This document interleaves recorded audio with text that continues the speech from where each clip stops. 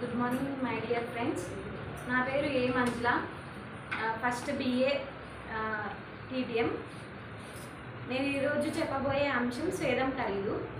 స్వేదం ఖరీదు యొక్క పాఠ్యభాగ రచయిత రెంటాల నాగేశ్వరరావు గారు. ఈయన పంతొమ్మిది వందల యాభై రెండు మార్చి పదహైదవ తేదీన గుంటూరు జిల్లా రొంపిచెర్ల మండలం సంతగుడిపాడు గ్రామంలో జన్మించారు. ఈయన ఎంఎస్సి సైకాలజీ చదివారు. ఈయన జాతీయ క్రిష్ నిర్మూలన కార్యక్రమంలో పారామెడికల్ ఆఫీసర్గా పనిచేశారు. ఈయన రాసినటువంటి రచనలు చీకటి దీవి భూమి కథ భూకంపం సైన్స్ ఫిక్షన్ నవలలు సైన్స్ ఫిక్షన్ కథలు ఈ మొదలగునవి ఈయన రచనలు. ఈయన కొన్ని రచనలకు బహుమతులు వచ్చాయి మొదటిది రెక్కలొచ్చిన పిట్ట అనే కథకు పంతొమ్మిది వందల ఎనభై ఐదులో యువ మాస పత్రికలో నిర్వహించిన పోటీలలో బహుమతి వచ్చింది. మరియు స్వేదం ఖరీదు అనే కథకు స్వాతి పత్రికలో నిర్వహించిన పోటీల్లో ద్వితీయ బహుమతి వచ్చింది. ఈ ప్రత్యేకత ఈయన ప్రత్యేకతలు తిలదానం కథ ఈయన రాసినటువంటి తిలదానం కథ సినిమాగా రూపొందించబడింది. ఈయన రెండు వేల ఎనిమిది మే మూడవ తేదీన మరణించారు. ఇప్పుడు పాఠ్యభాగ సారాంశం. స్వేదం ఖరీదు. శేషయ్య అనే ఒక రైతు ఉండేవాడు. అతనికి పొలం ఉండేది. అతను ఆ సంవత్సరంలో టమాటా పంట వేసుకున్న వేసాడు టమాటా పంట చేతికి వచ్చింది అంటే పనులు కోయడానికి తన భార్య కూతురితో పాటు ఇంకో కొంతమంది కూలీలతో కలిసి పొలానికి వెళ్ళాడు. పొద్దున్న నుంచి సాయంత్రం వరకు టమాటా పళ్ళు కోచారు అందరూ. సాయంత్రం ఆయన పైకి లేచి చూశాడు. అందరూ కూలి వాళ్ళు వెళ్ళిపోతున్నారు. పంట కో- అదే టమాటా పళ్ళు కోయడం అయిపోయింది అని. తన భార్య వచ్చి ఇంకా చాలా ఇప్పటికే చాలా లేట్ అయింది ఇంటికి వెళ్ళిపోతాము అని చెప్పింది. తన కూతురు వచ్చి ఆయనకు వరలక్ష్మి ఆయన కూతురు వచ్చి వా- నీళ్ళు ఇచ్చింది తాగడానికి. ఆయన నీళ్ళు తాగుతూ ఆయన వంక చూస్తూ నా కూతురు ఎదిగిపోయింది పెళ్ళి. ఈ పంటతో వచ్చి ఈసారి కాపు బాగా వచ్చింది. ఈ డబ్బుతో తనకి పెళ్ళి చేయాలి అని మనసులో అనుకుంటారు. తర్వాత తన కూతుర్ని భార్యని ఇంటికి వెళ్ళిపోమని చెప్తాడు. ఆమె తన కూతురు కూతురుని తీసుకొని ఇంటికి వెళ్ళిపోతుంది. త్వరగా వచ్చేయండి అని చెప్పి శేషయ్యకు చెప్పి వెళ్ళిపోతుంది. శేషయ్య టమాటా పళ్ళను మొత్తం అన్నిటినీ కుప్పగా వేసి అన్నిటినీ ఎత్తుతుండగా చిన్నవీరయ్య అనే బ్రోకర్ మార్కెట్ బ్రోకర్ వస్తాడు. వచ్చి శేషయ్య మామ ఈ పండ్లను ఎత్తుకో అంటే తీసుకెళ్దాం మార్కెట్కి. అని అడుగుతాడు. అప్పుడు శేషయ్య ఎంత ఉంది మార్కెట్లో రేట్ అంటే అర్ధ రూపాయి ఉంది అంటే అదేంటి న్యూస్ న్యూస్ పేపర్లో రేడియోలో ఎనిమిది రూపాయలని చెప్తున్నారు కదా అని శేషయ్య చిన్నవీరయ్యని అడుగుతాడు. అప్పుడు చిన్నవీరయ్య లేదు అర్ధ రూపాయి ఉంది ముప్పావులకు అయితే తీసుకుంటా లేకపోతే లేదని చెప్పి అక్కడ నుంచి వెళ్ళిపోతాడు. శేషయ్య ఆలోచిస్తూ ఉంటాడు. అప్పుడు ఆనందరావు వస్తాడు. ఆనందరావు కూడా ఒక రైతు. అతను వచ్చి శేషయ్యతో ఈ బ్రోకర్ వాళ్ళు ఇలానే మాట్లాడతారు. మనమే డైరెక్ట్ మార్కెట్కి వెళ్ళి సరుకును అమ్ముకుందాము అని చెప్తాడు. అయితే అప్పుడు అందరు కలిసి బాడోకి ఒక లారీని మాట్లాడుకొని ఒక ఐదారుగురు రైతులు టమాటాలని లారీలో వేసుకొని మార్కెట్ దగ్గరికి వెళ్తారు. మార్కెట్ కొంచెం దూరంలో ఆపి ఒక రైతుని పంపిస్తారు. మార్కెట్లో ఎంత ధర ఉందో కనుక్కొని రమ్మని. అప్పుడు అతను వెళ్ళి పది నిమిషాల్లో వచ్చేసి పది రూపాయలు రేట్ ఉంది టమాటా కిలో అని చెప్తాడు. అప్పుడు వీళ్ళందరూ రైతులందరూ సంతోషపడతారు. పది రూపాయలు రేటు ఉందని. ఆనందరావుని పంపిస్తారు. బేరం మాట్లాడుకొని రమ్మని పంపిస్తే ఆనందరావు గంట అయినా రాడు. ఏమైందో వెళ్ళి చూద్దామని శేషయ్య వెళ్ళి చూస్తే అప్పుడు అందరూ అక్కడ అమ్ టమాటాలు అమ్ముకునే వాళ్ళందరూ కిలో కిలో ఇరవై పైసలు అని అరుస్తూ ఉంటారు. అప్పుడు శేషయ్య ఏంటి ఇంత తక్కువగా ఉంది అని మనసులో అనుకుంటాడు. వాళ్ళందరూ రైతులందరూ భయపడతారు. తర్వాత బ్రోకర్ బ్రోకర్ మాట్లాడు అదే తర్వాత నాలుగు లారీలు లోడ్ వస్తుంది టమాటాలు. ఇంకా లోడ్ అయిపోతుంది కదా. మా మాది దించొచ్చు అప్పుడు రేట్ ఎక్కువగా పోతుంది అని అనుకుంటాడు వీళ్ళు. అప్పటికంతా ఇంకొక నాలుగు లారీలు లోడ్ వస్తుంది టమాటాలు. అది దించుకుంటారు. వాళ్ళని అడిగితే మూడు రూపాయల కిలో అమ్మాము మేము అని చెప్తారు. కానీ మూడు రూపాయలకు అమ్మి ఇక్కడ మార్కెట్లో మాత్రం ఇరవై పైసలకు అమ్ముతున్నారు. అంత ఎక్కువ రేటుకు కొని ఎందుకు అంత తక్కువ రేటుకు అమ్ముతున్నారని వీళ్ళు ఆలోచిస్తారు. సరే రాత్రికైనా ఈ లోడ్ అయిపోయిన తర్వాత దించడంలే మన లోడ్ అని వాళ్ళు అలాగే ఉంటారు. ఇంకా రాత్రి పొద్దున అయ్యేసరికి మొత్తం పళ్ళు పాడవుతుంటాయి. పండ్లు పాడే పాడవుతుంటే ఇంకా ఏం చేయలేము ఈ పండ్లు వేస్ట్ అవుతాయి అని చెప్పి శేషయ్య మిగతా రైతులందరూ కలిసి మా తక్కువ రేటుకైనా అమ్మేస్తారు ఇరవై పైసలకి. అమ్మేసిన తర్వాత కాసేపు అలా చూద్దాము వెళ్ళి ఎంతకు అమ్ముతున్నారో మార్కెట్లో అని వెళ్తే అప్పుడు కిలో పన్నెండు రూపాయలు అమ్ముతుంటారు. అప్పుడు వాళ్ళు చూసి బాధపడతారు. ఏంటి వీళ్ళు ఇంత మా దగ్గరేమో ఇంత తక్కువ తీసుకొని మాకు ఇంత ఎక్కువ ఇక్కడ ఇంత ఎక్కువ అమ్ముతున్నారు మాకు కనీసం బాడ లారీకి బాడికి ఇవ్వడానికి కూడా వాళ్ళకి డబ్బులు సరిపోలేదు. వాళ్ళకి వెళ్ళడానికి ఛార్జీలు కూడా లేవని వాళ్ళ రైతులందరూ బాధపడుతుంటారు. అప్పుడు బ్రోకర్తో అడిగితే ఆయన ఇంకా నిన్న ఇరవై పైసలకు కొని మూడు రూపాయలు కొని ఇరవై పైసలకు అమ్మినాం కదా ఆ నష్టం రావాలి కదా అందుకనే ఇలా అమ్ముతున్నాము అని చెప్తారు. అప్పుడు శేషయ్య బాధపడతారు మనసులో. అంటే రైతులు ఎంత కష్టపడినా కూడా లాభం ఏమి ఉండదు. కనీసం పెట్టిన రేటు కూడా రాదు అని శేషయ్య మనసులో బాధపడతాడు. అంటే ఇక్కడ రైతు చెమటకి విలువ లేదు అని అర్థం. నాకు ఈ అవకాశం ఇచ్చినటువంటి మేడం గారికి ధన్యవాదాలు.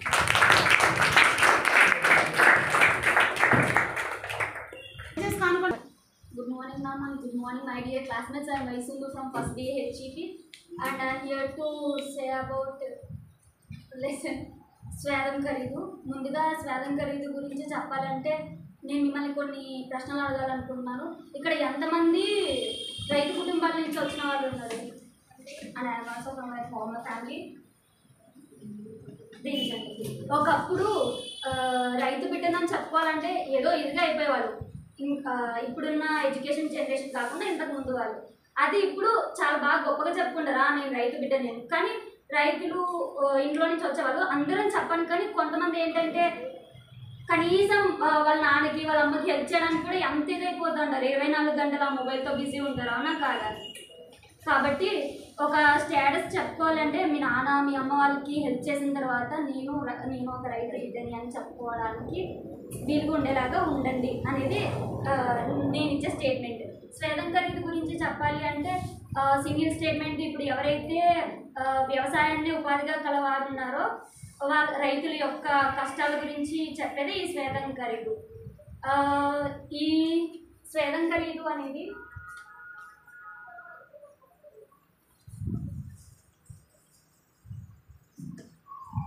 రెండాల నాగేశ్వరరావు రాశారు.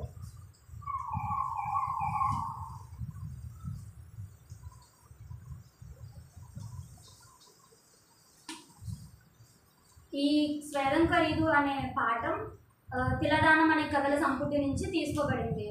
రెంటాల నాగేశ్వరరావు గారి కలం పేరు వచ్చేసి విద్యాధరి. పాఠ్యాంశం ముఖ్య అంశం ఏంటంటే రైతుల కష్టాల గురించి చెప్పడమే. కథను చెప్పిన తర్వాత రైతుల కష్టాలు ఏంటనేది నేను చెప్తాను.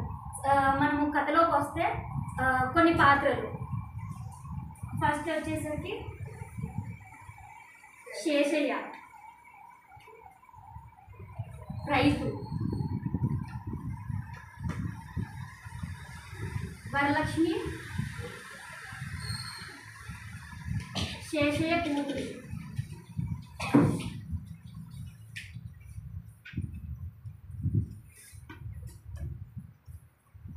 చిన్నవీరయ్య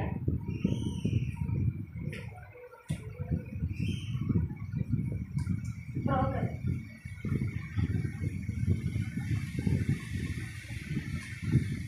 ఆనందరావు. ఆ ఊర్లో అంతో ఇంతో చదివింది ఆనందరావు.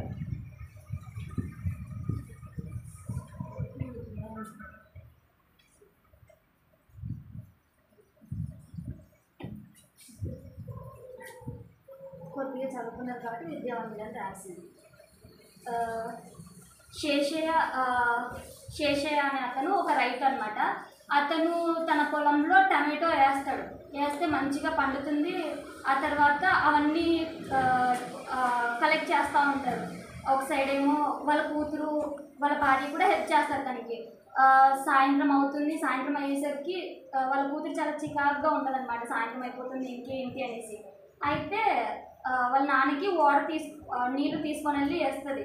అప్పుడు వాళ్ళ నాన్న తన కళ వరలక్ష్మి కళ అలా చూస్తాడనమాట అంటే తన ముఖం తన ముఖం సైడ్ చూసేసి నా కూతురు చాలా పెద్దగా అయిపోయింది పెళ్ళి చేసేయాలి అని సంతోషంగా ఉంటాడనమాట ఎలాగ టమాటా చాలా బాగా పండింది కదా కాబట్టి మంచి డబ్బులు వస్తాయి అమ్మేస్తే ఘనంగా పెళ్ళి చేయాలనేసి కలలు కంటాడనమాట కలలు కంటే తర్వాత వాళ్ళ భార్యను కూతుర్ని వెళ్ళిపోమని చెప్తారు ఆ తర్వాత మధ్యలో కలుపు మొక్కల్ని తీసేస్తా దారిగాయలన్నీ ఒక చోట వేస్తా పండినవి బాగా ఎర్రగా ఉంటాయి కదా అవన్నీ ఒక సైడ్ వేస్తా. ఏంటంటే ఇలా ఎందుకు డివైడ్ చేస్తున్నారంటే అన్నీ ఒక దాంట్లో వేస్తే దారగాయల్ని తీసుకొని పైనేసి బాగా పండిన కింద వేస్తే చెడిపోతాయి కదా.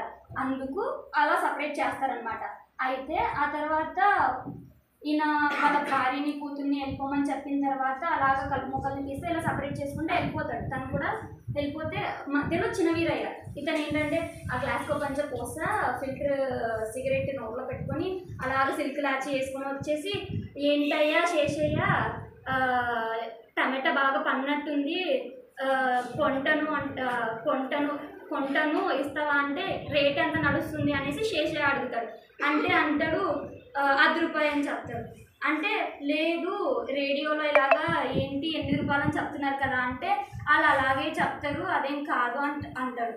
అంటే అర్ధ రూపాయి ఉంది కదా నేను త్రీ ఫోర్త్ ప్రైస్ ముప్పావుల కోసము ఆ, ముప్పావులకి కొంటానని చెప్తారు.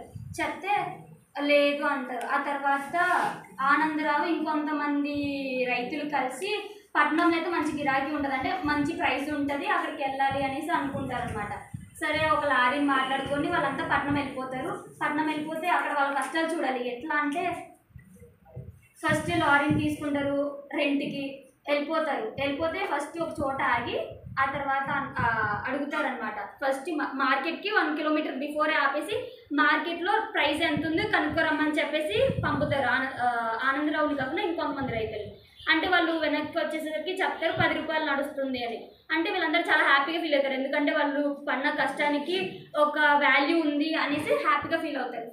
తర్వాత ఆనందరావుని బేరం మాట్లాడుకోరమ్మని పంపిస్తారు. గంట అయినా ఈ ఆనందరావు రాడు. రాకపోతే ఏం జరిగిందని శేషయ్య వెళ్తాడు. శేషయ్య వెళ్తే అక్కడ అందరూ ఇందాకైనా ముప్ప ఉండేది ఇప్పుడు అది కూడా కాదు పదిహేను ఇరవై పైసలకి కొంటాను అంటారు. అంటే చిన్న వీరయ్య. ఏంటబ్బా ఇది? ఇలాగైపోయింది. ఇక్కడేమో పది పది రూపాయలు అంటారు ఇక్కడికి వచ్చేసరికి కనీసం ఇలాగ ఇచ్చ ఇచ్చేస్తున్నారని. పోనీ ఒక వచ్చేపు ఆగుదాం ఇంకేమైనా ప్రైస్ మార్కెట్లో ఇంక్రీజ్ అవుతుందేమో అనేసి. అయితే నాలుగు లారీలు వెళ్తాయి. వారి దగ్గరికి వెళ్ళి కనుక్కుంటారు. అంటే మూడు రూపాయలు కొన్నామంటారు అంటే ఫోన్లో మళ్ళీ వీళ్ళ మొక్కల్లోకి వెలగొస్తుంది అనమాట సర్లే కనీసం ఎంత ఉంది కదా అనేసి. చూస్తే వాళ్ళు ఆ- ఆ టైంకి వాళ్ళు వెళ్ళిపోతారు. మళ్ళీ చిన్న వీరయ్య వస్తాడు. వచ్చేసి అంటాడు పదిహేను పైసలకైతే కొంటానని. అప్పుడు వాళ్ళు మళ్ళీ బాధపడతారు. బాధపడిన తర్వాత ఇంకొద్దిసేపు చూద్దామంటారు. కానీ పది లారీలు వచ్చే లోపల అదే ప్రైస్కి తీసుకొని వెళ్తాయి అని చెప్తారు. అయినా ఇంకా మార్నింగ్ కోసం వెయిట్ చేద్దాం ఇంకొద్దిసేపు అనుకుంటారు. కానీ అప్పటికే ఆ టమాటోస్ అనేవి కుళ్ళిపోవడం స్టార్ట్ చేశారు. అవన్నీ తీసేసి మళ్ళీ మార్కెట్లోకి వెళ్తారు. ఉన్న ప్రైస్కి ఇచ్చేద్దాం అనేసి. అలాగా తక్కువ రేటుకి అమ్మేస్తారు. వాళ్ళు ఇంకా వెళ్ళిపోయే టైంలో వాళ్ళు ఏదైతే పదిహేను పైసలు కొంటామంటారో అది కొద్దిసేపు ఎక్కువ ఉన్నందుకే ఆ, లారీ రెంట్ కూడా దానికే సరిపోయింది అనమాట ఎక్స్ట్రా టైం తీసుకున్నందుకు. చూస్తే వీళ్ళందరూ చాలా బాధగా ఇంకా అయిపోయింది. కొ- ఆ, సరుకంతా అమ్మేశారు. తర్వాత శేషయ్య అలా మార్కెట్లోకి వెళ్తారు. మార్కెట్లోకి వెళ్తే ఎంత ఉందని చూసేసరికి పన్నెండు రూపాయలు ఉంటుంది. అంటే ఎవరు మోసపోయారు ఎవరు మోసం చేశారు అనేది కొంచెం బాధపడతారు. బాధపడిన తర్వాత ఇలాగ ఒక బ్రోకర్ ఇలాగ మాట్లాడుతుంటారనమాట నిన్న ఇలాగ అమ్మాం కదా తక్కువ రేట్ తక్కువ రేట్కి అమ్మేశాము. ఆ నష్టం ఎవరు కూర్చొని లాభం ఎవరికి రావాలి ఇన్ని కమిషన్ రావాలా లేదా అని మాట్లాడుకుంటుంటే అది విన్న శేషయ్య చాలా బాధపడిపోతాడు. ఒకప్పుడు శేషయ్య శేషగిరి రావు అనమాట ఎంత పది ఎకరాల భూమి పెట్టుకొని మంచి పేరు ఉండేది తర్వాత శేషయ్య అయిపోయాడు. ఆ శేషి శేషయ్య శేషగిరి లా- రావులాగా ఉన్నప్పుడు ఈ చిన్న వీరయ్య చిన్న వీరిగాడు లాగా ఉండేవాడు. అంటే నెత్తిన వెజిటేబుల్స్ పెట్టుకొని ఊరంతా అమ్మేవాడు. ఆ తర్వాత బ్రోకర్గా అయిపోయిన తర్వాత ఐ మీన్ మీడియేటర్గా. అలాగ అయిపోయిన తర్వాత దళారి. అయితే చిన్న చిన చిన్న వీరయ్య గారు అవుతారు ఒక డాబా కట్టేస్తాడు నాలుగు నాలుగు ఎకరాల భూమి కొంటాడు. చిన్న వీరయ్య గారు అయిపోతారు. శేషయ్య అనుకుంటాడు ఎంత కష్టం చేసిన రైతుకి ఇంతేనా? అసలు ఎంత కష్టపడ్డాము? అసలు కానీ ఇంత కూడా మాకు లాభం రాలేదు అనేసి బాధపడుకుంటా ఇంకా ఈ శేషయ్య ఇంకా కొంచెం టైం గడిస్తే శేషగాడు అయిపోతాడేమో అని బాధపడతారు. రైతులు ఏంటంటే ఒక సంవత్సరం వాళ్ళు ఏదైనా పంట వేయని చాలా ఓర్పుగా ఉంటారనమాట రైతుకున్నంత సహనం ఎవరికి ఉండదు. అంతెందుకు మనం ఎంత మనకి కావాల్సిన పని పది నిమిషాల్లో కాకపోతే ఎంత చిరాకు చూపిస్తామంటే మామూలుగా ఉండదు అది. మన ఇంట్లో వాళ్ళ పైన కూడా అడ్చేస్తాం అలాంటిది వర్షాలు వర్షాకాలం అప్పుడు పంటలు వేసేటప్పుడు వర్షాలు రావు ఎండాకాలం అప్పుడు ఫుల్ ఎండ పెట్టి పంట పాడైపోతుంది ఇంకా సేద్యం చేసే వాళ్ళకి ఇప్పుడంటే మోడర్న్ టెక్నాలజీ వచ్చింది. కొంతమంది మోడర్న్ టెక్నాలజీకి అడాప్ట్ కాని వాళ్ళు ఇంకా నాగలతోనే దున్నే వాళ్ళు ఉన్నారు. అలాగా అన్ని సహకరించినప్పుడు కొన్ని సహకరించవు. కొన్ని సహకరించాలన్నప్పుడు అన్ని కావు. ఇంకా వాళ్ళ వాళ్ళ జీవితాంతం వాళ్ళ పిల్లలు కూడా ఏంటంటే ఒక రైతు ఏమనుకుంటాడు? దేశ ప్రజలందరినీ కడుపు నిండితే చాలు. అదే తనకి పెద్ద కోట్ల ఆస్తి అనుకున్నారు ఒకసారి రైతు తను పండించడమే ఆపేస్తే ఏం తింటారు? ప్లాస్టిక్ బియ్యం తింటారా? లేదు కదా. అంతో ఇంత కనీసం అంటే రేషన్ కార్డ్స్లో తనకు ఒక భూమి ఉంది నేను రీసెంట్గా ఒకటి వాళ్ళు వరేస్తారు పెద్ద భూమే. పండినప్పుడు ఏం తింటారు? వాళ్ళు రేషన్ షాప్కి రావాల్సిందే. కానీ ఈ కొత్త గవర్నమెంట్ ఏదైతే ఉందో some ten acres of land above ఉందని చెప్పేసి వాళ్ళకి రేషన్ కార్డే తీసారు ఎన్ఎఫ్ఎస్ఏ అని కొత్త స్కీమ్ పాలసీ రేషన్ కార్డులో తీసారు వాళ్ళు ఏం తింటారు? అంత different kinds of varieties of rice పండించే వాళ్ళే. లాస్ట్కి స్టోర్ బియ్యం కోసం రావాలి. ఆ స్టోర్ బియ్యం కూడా ఇస్తున్నారంటే అది లేదు. వాళ్ళు ఎంత చెమటోడ్చి ఎంత కృషి చేసి ఇచ్చేస్తారో వాళ్ళకంత ఫలితం రావట్లేదు. పోనీ వచ్చిందా? వాళ్ళు పండిస్తారు. బాగానే ఉంది. మొత్తానికి ఏదో వచ్చింది. లాభం రాకపోయినా నష్టం వచ్చింది. అయినా దాన్ని అమ్మడానికి వెళ్తే మధ్యలో మీడియేటర్స్ ఉంటారు. బ్రోకర్స్ ఉంటారు. వాళ్ళే తినేస్తారు. వీళ్ళ దగ్గర కొద్దికొని వాళ్ళతో ఎక్కువ ఇక్కడ తక్కువ కొని వాళ్ళు ఎక్కువ కమ్ముకుంటారు. నష్టపోయేది ఎవరు? ఇక్కడ రైతే. కష్టపడింది ఎవరు? కష్టపడిన వాళ్ళకే కదా రావాల్సింది లాభము. అది కూడా రానివ్వట్లేదు. పోనీ గవర్నమెంట్ కొన్ని ఇంప్లిమెంట్ చేసింది. కానీ వీళ్ళకి తెలియాలి కదా. వీళ్ళకి తెలియకుండా ఏంటి? డైరెక్ట్గా రైతు బజార్లో అమ్మాలి అనేసి రైతు బజార్కి వెళ్తే కొంతమంది వెళ్ళలేక కొంతమంది నమ్మింటారు. నమ్మిన వాళ్ళే మోసం చేస్తారు. ఇది పరిస్థితి. రైతుని ఓ పొగడేస్తారు రైతే దేశానికి వెనమొక్క అది ఇదని. కానీ ఏం చేస్తున్నారు రైతు? రైతే అప్పుల పాలవుతున్నారు. కొంతమంది అయితే ఉరేసుకొని చచ్చిపోతున్నారు. ఇవన్నీ ఎందుకు తీసుకున్నారు? మళ్ళీ మన గవర్నమెంట్ వాళ్ళు స్పెషల్గా ఒక ట్యాగ్లైన్ వేసుకొని డిపార్ట్మెంట్ని నడిపేస్తూ ఉంటారు ఇదే మినిస్ట్రీ ఆఫ్ అగ్రికల్చర్ అని. అక్కడ ఉన్నవాడు వీడికి తెలుసా వీడి కష్టాలు ఏంటో తెలుసాయా? లేదు కదా. కాబట్టి రైతుని దగ్గరకు చూసి వాళ్ళ కష్టాలు ఏంటి వాళ్ళకి ఎలాంటి రైతు భరోసా రెండు వేలు వేస్తే ఏం బాగుపడతారు? ఒకసారి సైపోద్దా లేదు కదా. అలాగా రైతు కష్టాలని దగ్గర నుంచి చూసి అయ్యో పాపం అనాలి కానీ ఎక్కడి నుంచో చూసి అయ్యో పాపం ఇచ్చేయాలి వచ్చేయాలి కాదు. చేసిన తర్వాత ఇచ్చేసాం వచ్చేసామని చెప్పుకోవాలి. రైతుకి మినిమం వాల్యూ ఇవ్వాలి వాల్యూ ఇవ్వకుండా రైతే గొప్పవాడు అనే స్టేట్మెంట్లు ఇస్తే మాత్రం సరిపోదు. That's all thank you for అందరికీ శుభోదయం. నా పేరు Dhanalakshmi from first BA HCP. ఈరోజు ఎన్నో టాపిక్ వచ్చేసి రెంటాల్ నాగేశ్వర అది రెంటాల్ నాగేశ్వరరావు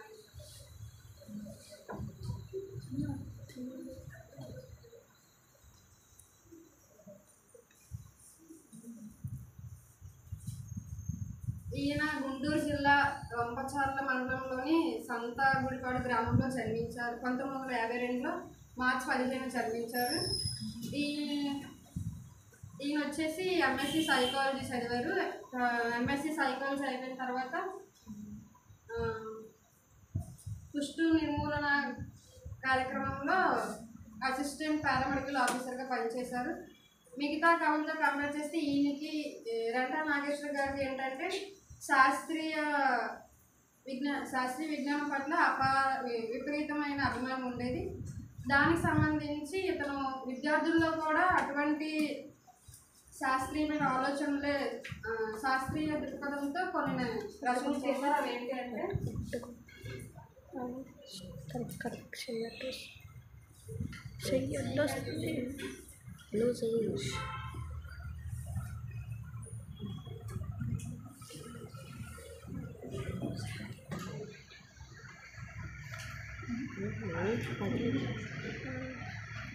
చీకటి దివి దక్షిణ ధ్రువయాత్ర విశ్వం. అది నువ్వే పట్టుకో. భూకంపాలు.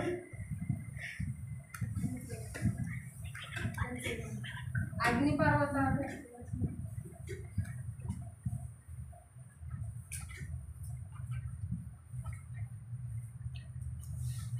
సైన్స్ ఫిక్షన్ కథలు అండ్ సైన్స్ ఫిక్షన్ నవలలు ఇలా నేమ్స్ రాసి ఆగస్ట్ అటెండెన్స్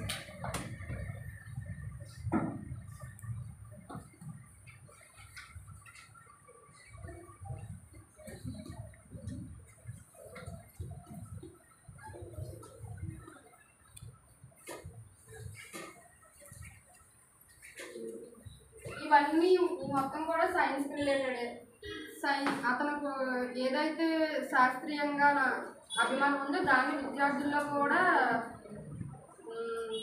సైన్స్ సంబంధించి ఇంకాస్త పెంపొందించాలని చెప్పి ఇవన్నీ రచించారు. ఈయన రాసిన రచనలు ఈయన రాసిన రచనలు అనేవి చాలా తక్కువైన వాటిలో కూడా ఎన్నో వాటికి బహుమతులు వచ్చాయి. అవి ఏంటి అంటే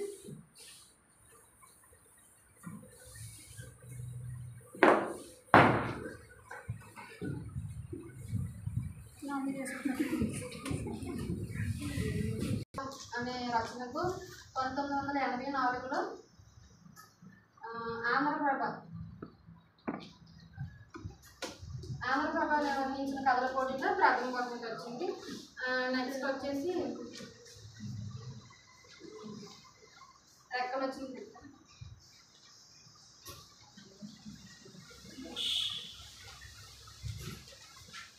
దీనికి పంతొమ్మిది వందల ఎనభై ఐదులో.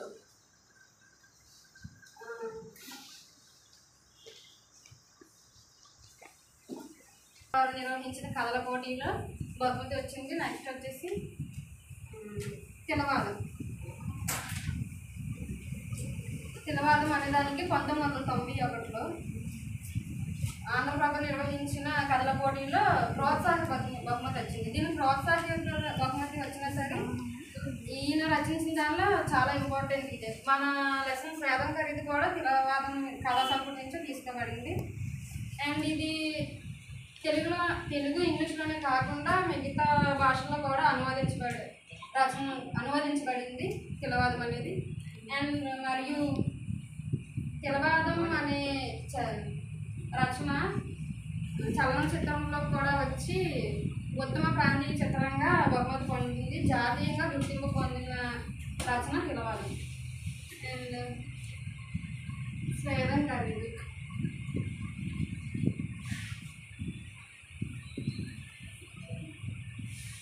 స్వేదం ఖరీదు స్వాతి బహుమతి. స్వేదం ఖరీదుకి స్వాతి పత్రిక వారిని నిర్వహించిన కళ్ళ పోటీలో ప్రథమ బహుమతి వచ్చింది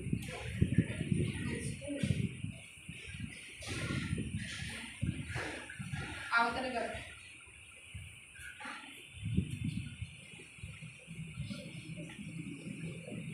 దీనికి కూడా చలన